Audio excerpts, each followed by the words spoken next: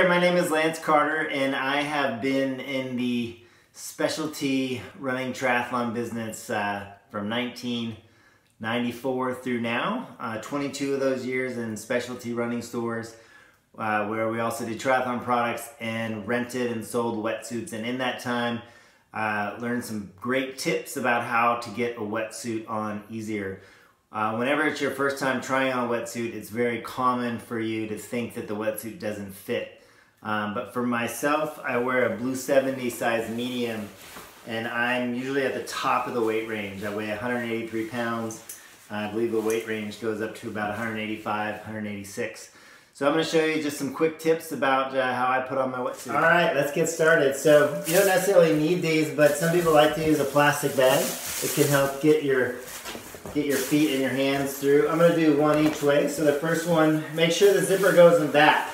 Um, I can't tell you the number of times that people have come out of the dressing room with the zipper in front. So you can see it's a plastic bag that goes on nice and easy. So get rid of the plastic bag. Now I'll use, without it, goes on pretty easily as well too.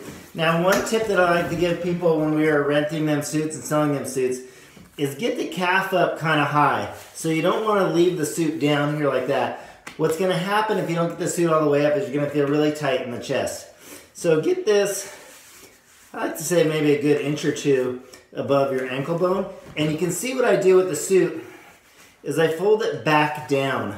That way if you go up just about an inch or two, it'll pop right up. One mistake that people make is they get the suit as they're pulling it up and all these folds are pulling, pointing upward like this. And then what happens is they go to pull the suit and it gets caught, the rubber sticks on itself. So get the rubber pointed down, okay?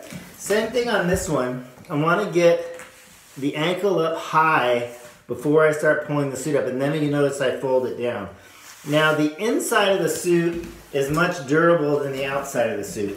So you can grab a little bit more firm on the inside of the suit. The other thing is don't grab your fingers like this and pull. Instead, roll a wrinkle into it. Have the pads of your fingertips almost like this, but pointing towards each other. So then you can grab the suit. That way you're much less likely to nick the suit, okay? So what we're gonna do is just work that up into the knees. I'm gonna stand up, probably have to get a different camera angle here. All right, so we're starting to work it up around the knees. Now this is the inside of the suit. So I'm gonna bring the inside of the suit up. And again, the inside of the suit, you can grab the suit a little bit firmer. Now, we wanna make sure that the crotch here is all the way up. And one mistake that a lot of people make is they'll try to grab the suit here and try to pull seven, eight inches at a time. Instead, really just try to work the suit up literally about an inch at a time because it's gonna be a lot more comfortable at the end result, okay? So all the way, before I even start to put an arm in, I'm working the suit up, folding it down, again, getting it up into my hips and my crotch as much as possible. So I'm back here, what I'll do is I'll go and I'll grab the suit and I'll just kind of do a squat, squat down in it. And again, inside the suit, more durable, so you can pull it a little bit harder, okay? I can still feel I have a little bit of space here, so what I want to do before I go really any further is bring this up. So I'm going to go down here bring it up a little bit. Keep going until I really feel like the suit is as high as it's going to go. Because trust me, especially with a full suit, the higher you get it up into the hips, the much better off you're going to be. Okay. So getting it all the way in the back here. And then for me, what I like to do with the full suit especially, is work this up and really get it all the way to my rib cage, okay? So I'll bring it up here. Now, I usually like to put my watch hand in first. Um, again, if you want, you can use the bag technique. So help slide your arm through. It'll pop in there pretty quickly. Now pretend that you have a watch on. Same thing with the ankles. If you leave the cuff way down here, it's gonna be really tight in the shoulder. So again, pretend you have a watch on. pull that up so it's a little bit higher. And same thing here. As I fold, uh, pull, pull the fold back down and then just go about an inch or two at a time and work it up like that. Don't try to move the suit, you know, five inches at a time. And then the other mistake people make is they'll get about here and they'll try to stick their other arm in and they'll get, they'll get stuck. So instead, let's get this arm all the way up into the shoulder girdle, really as much as possible before we start putting the other arm in, okay?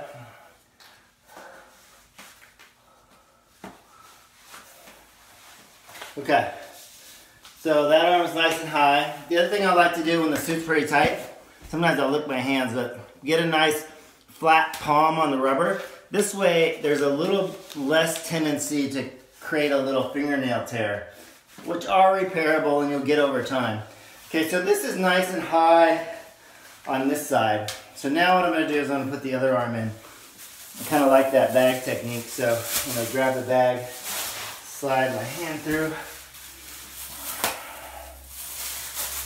get rid of the bag. Okay, same thing. Tend to have a watch on so I can get that sleeve up a little taller. You can see all these are going up. And so what I wanna do is I wanna fold those back down. That way, lick the fingers, grab some rubber, it'll come up much easier, okay? So pull it up and fold the rubber back down.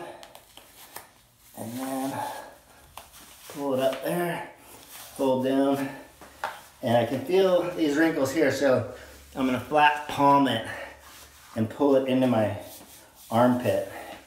Get it as high as possible. Okay, so that's pretty much a suit. After you have it on, what we always like to have people do is go back to the midsection, bend over, and pull the suit off and then work the suit up. Because this way, you get the suit up as high as possible into the collarbone and it's gonna feel much better through the shoulders. And then even after I get it on and I get it zipped up, then I still wanna go back and I'll, I'll just go back through and I'll work my suit up with my flat palm so I don't nick it. And I'll put my hand up here and work it into the armpit. And in a, in a race or even a, a practice swim, I'll actually go swim 10, 15 strokes and then I'll um, bring the suit up a little more so I have full range of motion in the shoulders. I'll do the same thing in the water back here. I'll grab the butt, flat palm, and I'll pull it up to get it up into the low back. All right, so that's some couple tips about putting on your wetsuit. Have a great swim.